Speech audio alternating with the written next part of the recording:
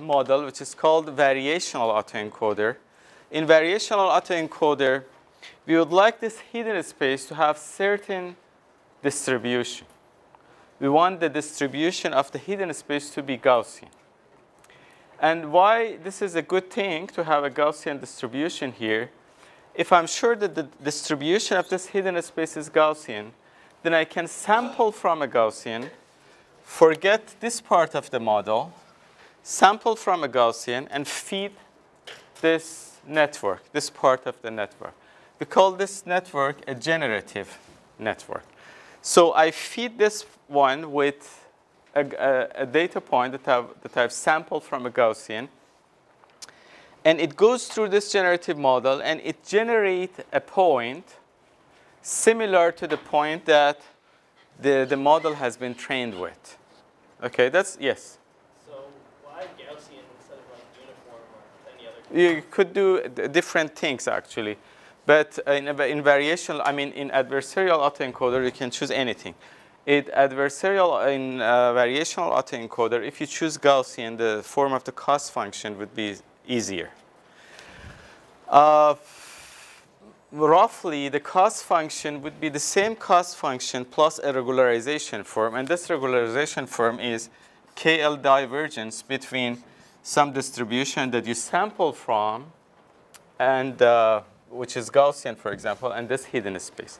So meanwhile that you're minimizing the reconstruction, you want to uh, make sure that this distribution is close to Gaussian.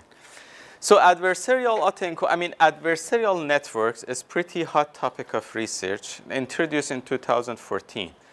And uh, it introduced in the uh, form of generative models. Uh, and recently it has been applied to autoencoder. So the intuitive idea behind this is quite uh, simple. So suppose that I have the same goal I have an autoencoder and I want to make sure that this distribution is Gaussian. Instead of adding a regularization term to my cost function in the form of KL divergence, and there's other variations in the form of maximum mean discrepancy, it's called uh, uh, moment matching network. So instead of adding a part to the cost function, we are doing a completely different things. Suppose that I have two networks, and these two networks are competing with each other. I have this autoencoder. This is just a traditional autoencoder. But I want to make sure that this is Gaussian or any other distribution. I'm going to have another network here, and this network is a classifier, a discriminative model. So this classifier I fit it with points that have been sampled from my ultimate distribution. I want them to be Gaussian. I sample from Gaussian, and I send it to this classifier. Let's call these samples that I draw from uh, Gaussian positive samples. The hidden space here, I fit it to the classifier as well. Let's call those negative uh, samples. My job is to fool this classifier. Okay, I want to change this hidden space in a way that this classifier cannot make distinction between points that have been sampled from P and points that are generated here. Okay? So basically, uh, you have a classifier and you want to fool the classifier to not be able to distinguish between these two sources of input.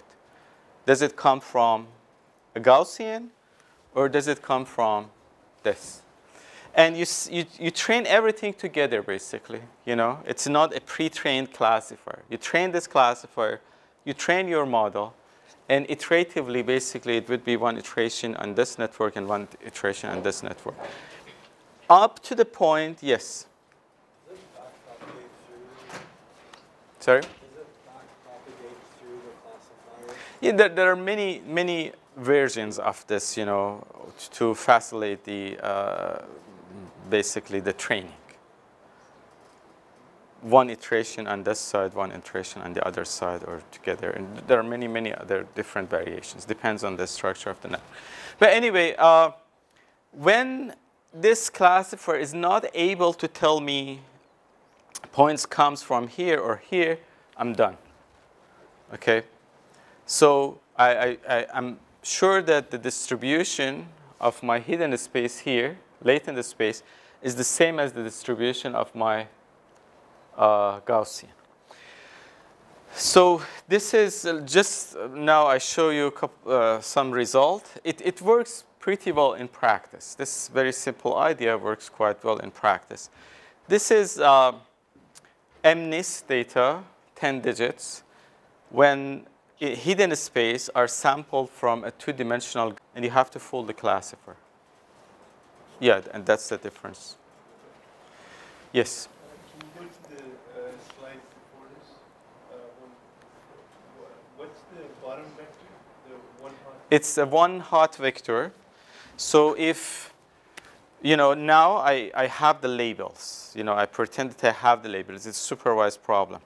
I'm fitting one to the network, for example. Then my hot, one hot vector would be one, zero, zero, zero. And when I'm fitting two to the network, my one hot vector would be zero, one, zero, zero, zero. Okay? How does it combine with the top? Like the In this version, it doesn't combine with the top. okay. So you're fitting one, and you hint the classifier that uh, you know, for, for, all ones, you use this one hot vector. For all zeros, you use this one hot vector. So each time classifier knows that it's a different set of data, it needs to use a different What's the output then? output of what? The, the bottom half. It's a classifier again. So all of them are ones with this one hot vector here. And then this supposed to get fooled, you know.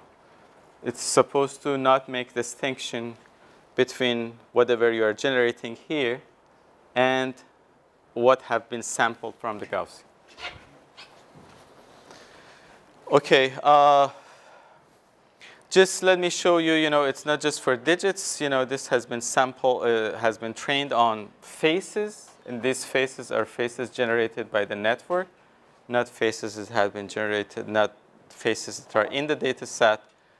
Uh, these are also sampled. This is uh, a street uh, number data set. Uh, these are uh, those that have been sampled from, uh, has been generated by the network. There are other variations for semi-supervised version, uh, which we don't have time to actually cover. I just show you that it can do something interesting, okay? So uh, if there's any question, I will answer the question after the class because we're going to have three presentations now. And so I don't want to waste the presenter's time.